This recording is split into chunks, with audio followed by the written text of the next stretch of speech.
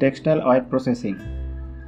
Textile materials in different forms such as fiber, yarn, woven fabric, knitted fabric or garments may be subjected to different textile wet processing operations.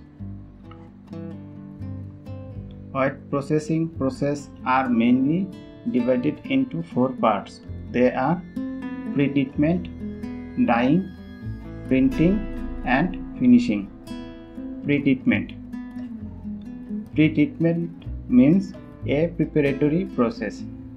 This is the method that takes place in a textile factory before dyeing cloth, yarn, fiber or fabric.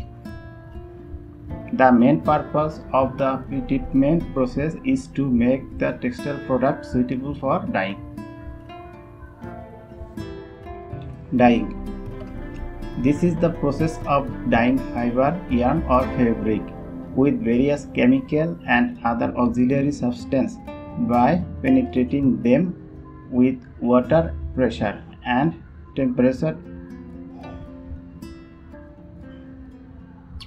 Printing According to the design, the process of highlighting the space, especially the color of the fabric, is called printing. This means to color the space according to the particular design. There are many ways in which colors can be enhanced.